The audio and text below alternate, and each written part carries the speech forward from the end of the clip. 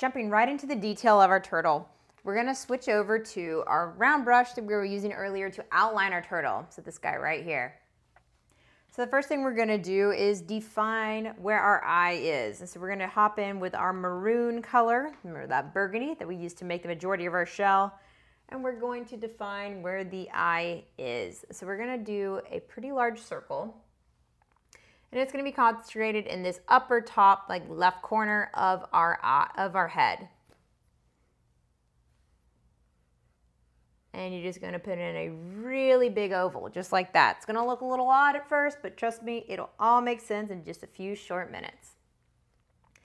So as soon as you get in your big circle, or the kind of ovular circle, not too circle circle, we're going to go ahead and define the eye within the eyebrows, which is basically a football on a diagonal.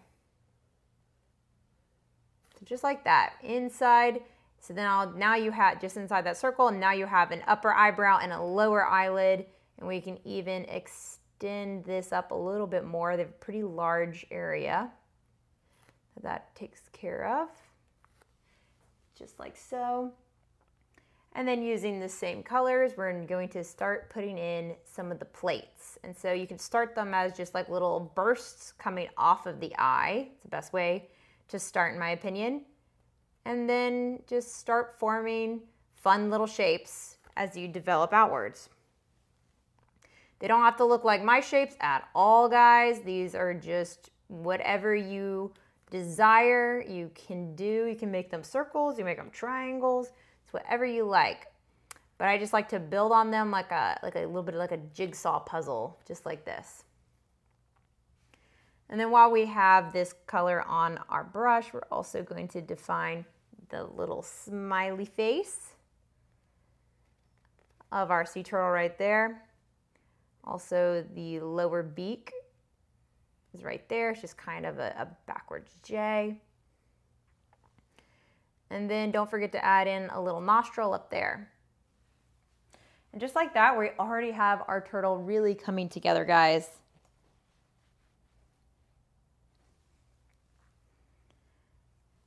Now in this step, we're going to start layering in all of the uh, little wrinkles that really make up all this texture on our turtle. But first we need to define the underbelly, which is right here. So it's just gonna be a quick little line just like that.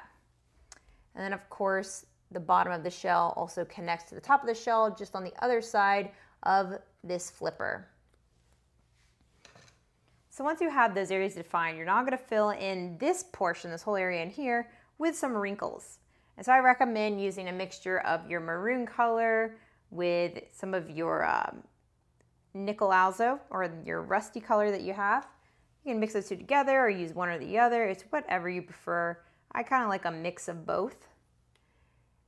And then just start layering in in a circular motion, just like this. See how I'm like using my, um, using the angle to create form. So we're creating the illusion that the neck is right here and it's curving going up to the head.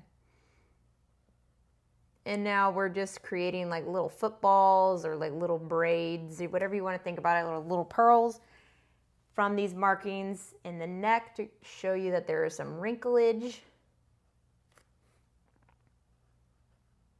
And of course, we're gonna go in in a little while and add some highlights in here as well. And then whenever you reach the arm, you're going to wanna switch the way your wrinkles are flowing and make them flow down the body and rather than across it like that. And that just gives him more form. So see just quickly how, just like that, a few things really gives your little turtle a lot more depth and realism. And they also have some of these little wrinkles going up into the lower jaw. But just know that these right here are different from these up here. These are going to be plates, these are just wrinkles.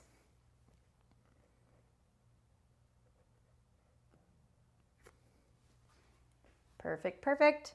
So we're also going to be using this brush to go ahead and shade the underbelly. And the shading is going to be all done in teal and a little bit of that nickel azo or your rusty color. It's gonna make that really like a nice green color. And you're just going to line that on the lower portion of the body.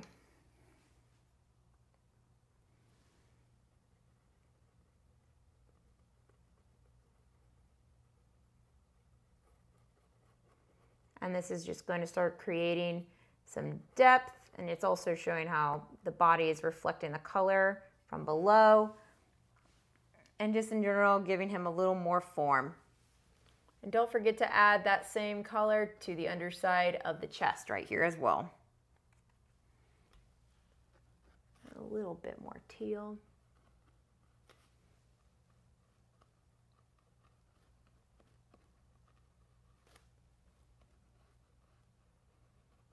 And don't worry if you feel like your shell is starting to blend in with your background a little bit. We're gonna be doing a whole heck of a lot more development on this turtle before we're all done. Go ahead and fill in the eye area with just pure teal. It's gonna be a really bright, pretty eye. Just like that. And you're also going to highlight around the eye in pure white. So the eyebrow is going to be all white to start with. And so is the lower lid as well. And you're also going to take a little bit of white into the beak and the upper portion of the nose, up here and up here, just so we can have a really nice highlight later on when we come in with some more colors. You're to put a little bit on the lower beak there too.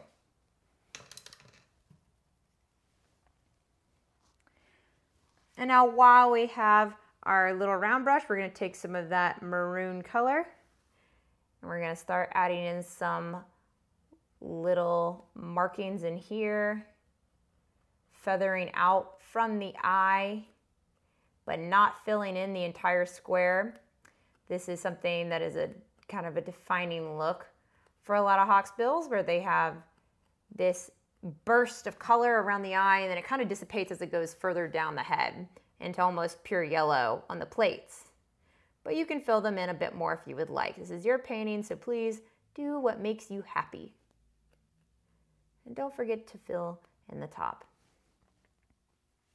And while we're doing this, we're also going to go ahead and add in a few little plates in the eyebrow and the lower eyelid as well.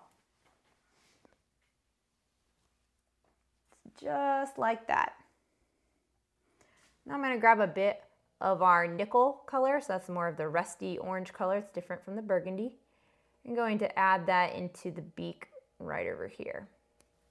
And then immediately go back over with a little bit of white to smooth out the edge.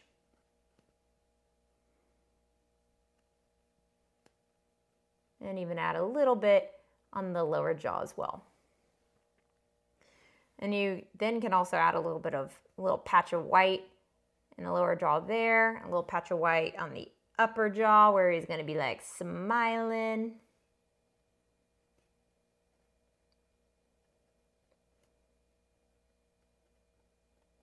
Like so.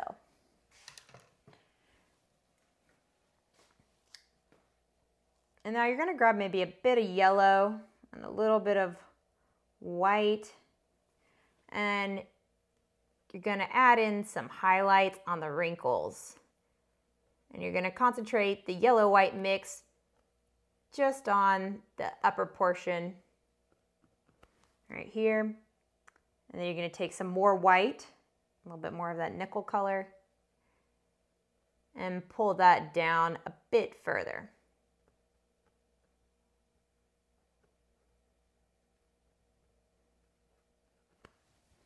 just like that.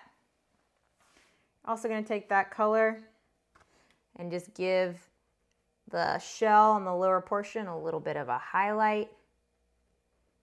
Just like that. And see how it's my brush is getting pretty dry as I'm painting this in. That actually is not a bad thing. It can make it makes a really nice textured effect. Just like that. Excellent, guys. So now we're gonna go ahead and start layering in our turtle shell. So I'm gonna switch back to my flat brush because I like the way that that smoothly adds in a line, but if you would prefer you're more comfortable with your round brush, please do that. Just make sure whatever brush you end up using is very clean.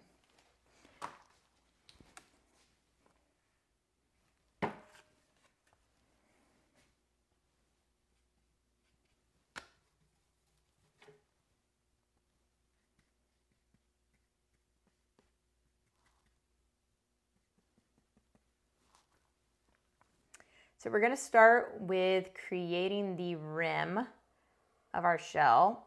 And you're just going to go in just a little bit, create a nice outline right there. That's going to be the rim. And you can go ahead and add in the little plates on the edge for the barrier, just like that.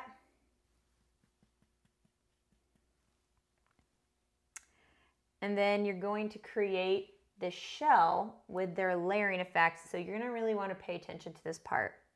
I'm actually going to switch over to the round brush just for this part, just so I have a little bit more control over this. So your first plate is going to start right here where your second little line was made and it's going to swoop up because your shell is curved so you can't do a straight line. If you do a straight line you're going to be you're going to be creating a flat image. So you need to have curvature when you're doing this. Just keep that in mind. So you're going to have that nice curved line. It's going to go all the way up and touch the top. And now you're going to create your next line comes down at a diagonal right there. And then connects in a curve similar to that one, down to the rim. And then you're going to have another line come out from this one, also at a curve, going down the back. Just like that. And then again, you're going to choose that line, to make a diagonal, and then connect it back down. Start back here at this little point and then curve up. And then back down again. And this one you can really just do almost a straight line. And then you're only gonna have one more plate. It's gonna go just like that in the back. And just like that, you have your beautiful Hawksbill sea turtle shell. So now all you gotta do is go in and add in the little plates and the flippers and you are all set for this part of the painting. And then we'll finish up all the details of the turtle in the next step. And then with one more step, we'll do all of our touch-ups in the background. So you're gonna start with the front flippers by putting in the plates on the front side of the flipper. So you put these nice elongated, kind of rectangular plates in first, and you can build out from there. And just make sure whenever you reach the other side, where you have your little hills and your little bumps that you just kind of make use.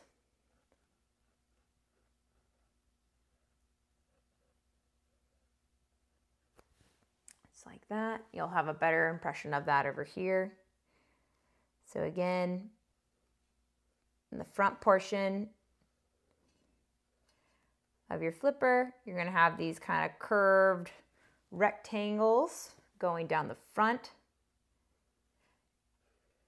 And again, this is creating perspective and form.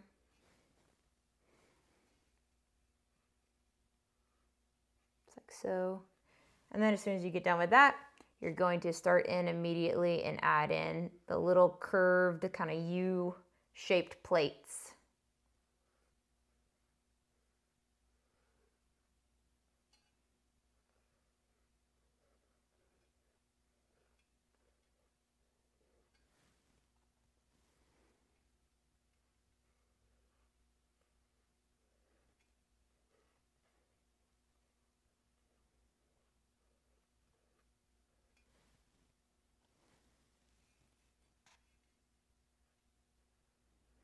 And then as soon as you have that done, you're just going to jigsaw puzzle together the rest of the plates. So just kind of make up all of the shapes in between them. There's nothing you can do wrong here, guys. Once you have both sides of the flipper set in, you just start connecting all these sides and these shapes together. And then you're all good. Just have fun with it, guys. If you wanted to, you could do triangles, you could do circles. It's totally up to you.